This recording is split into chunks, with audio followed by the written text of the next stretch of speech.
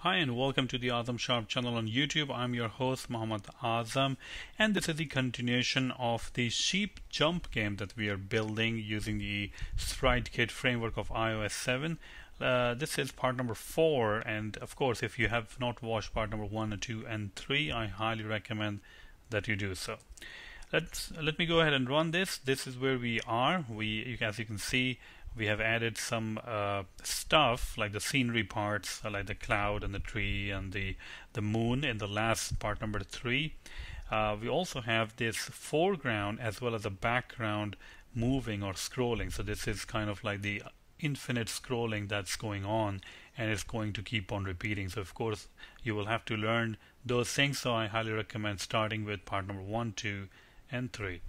Now in this part we are going to animate the sheep and also we are going to refactor a little bit of code because right now all the code associated with sheep is in the file which is our in our main scene file so you uh, in order to make the game much more maintainable in the future to add more features uh, it's highly advised that you move the code and you refactor the code and structure the code okay so I've already added a class. It's called uh, sheep, and it is basically inherited from SK Sprite node. And if you see over here, you won't really uh, have anything over here. So this is what we are going to do. So over here, basically, I can return instancetype, and I can say init. So this will be my init method, the initializer, and now I can actually go ahead and implement this this guy over here. A lot of people have asked me where I got the graphics. So if you search for Vicki Wenderlich, you will find all the graphics uh, um, on the website, especially uh, I think that the tree, the moon, and all the background and the scenery parts, Vicki Wenderlich. And um, another thing people ask me about the graphic for the sheep. Uh, I think you can open game art if you if you go over there, you can find a lot of stuff. Okay. So over here, basically what I'm going to do is I'm going to create a sheep and I'm just going to use the same uh, thing. And instead of actually hard coding it over here we can create a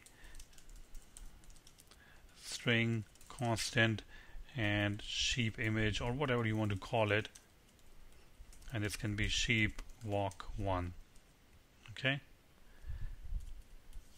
and we can replace that with sheep image. Uh, same things uh, that we did in the in the previous part, like we added the bunch of uh, the physics attributes. Uh, I'm just going to add it over here, the same physics attributes, which is the the physics body and the restitution, and the return self. So this will create us a sheep uh, object. So whenever you create, whenever you initialize a sheep, it will already know that the image for the sheep is sheep underscore walk underscore one, which of course is this image over here. Let's go ahead to our main scene. We have already added this guy over here, sheep.h. Um, let's go ahead and change this to sheep. And wherever we are adding the sheep, instead of doing all of that, now we can say sheep and then we can initialize. Okay? Go ahead and build it go ahead and run it. And you will see that it's pretty much the same. The sheep actually jumps also. Uh, the jumping part we can also move in uh, in the other place. So let's find the jumping part over here. This is the jumping part right so you shouldn't have this guy over here. Uh, you can simply expose a very simple method, jump, and go ahead to the implementation file and implement this method, which is jump. And we will say over here self. And then if we can go back, we can simply say over here sheep jump. And this is much more simpler. Now you have control over the jump right? There we go the same pretty much the same thing going on. But, uh, but one of the problems with the sheep is that it's not really animating okay? So let's let's go ahead and do that. Let's set up, set up some sort of animation going on. Uh, so I'm gonna call setup animation. This is our custom method. You can call any anything you want it doesn't really matter. And we are going to call it setup animation over here.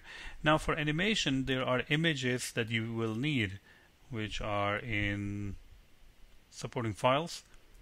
So this is the sheep walk 1 and you can if you can notice there's a little bit of change going on in walk 2 walk 3 walk 4 and when you repeat all of these things 1 2 3 4 1 2 3 4 1 2 3 4 and very uh, like you know repeat it in a high frequency or uh, really fast then you'll see that uh, it's basically animation going on.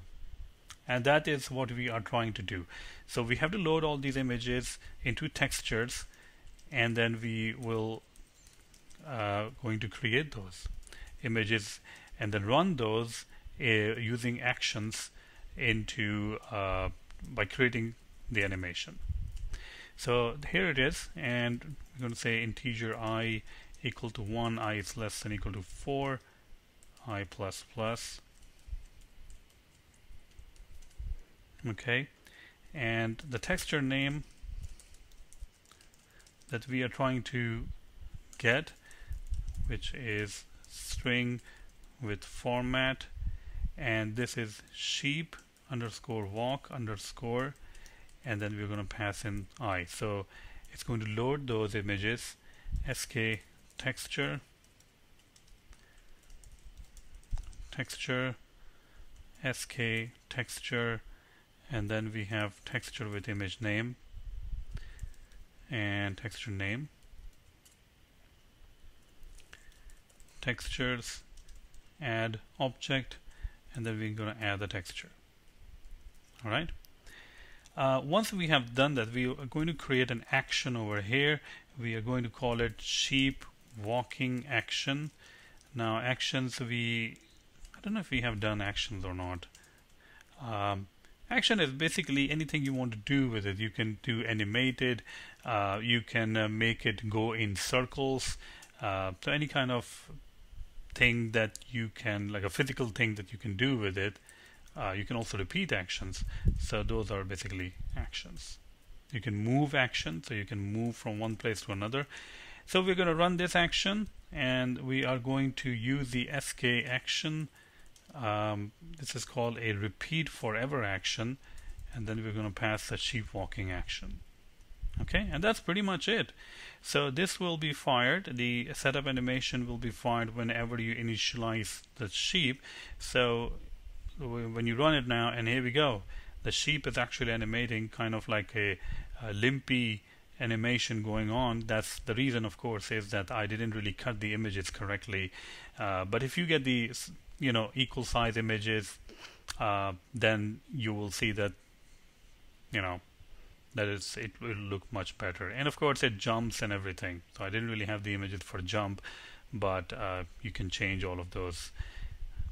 Okay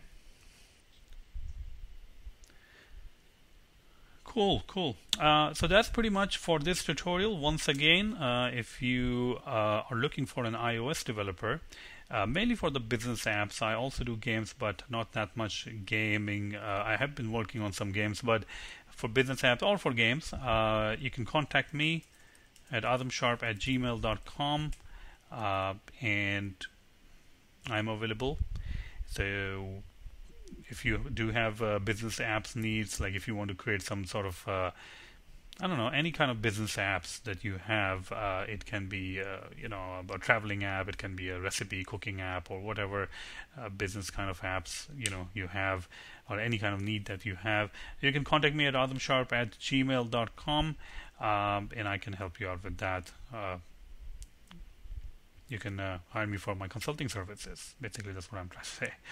Um, that's pretty much it. So in the next tutorial, hopefully we'll add some uh, blocks and then uh, we will have some uh, collision detection and the sheep will have to jump on from the fences or the blocks that we add uh, to earn points. Okay? Thank you very much and stay tuned for more videos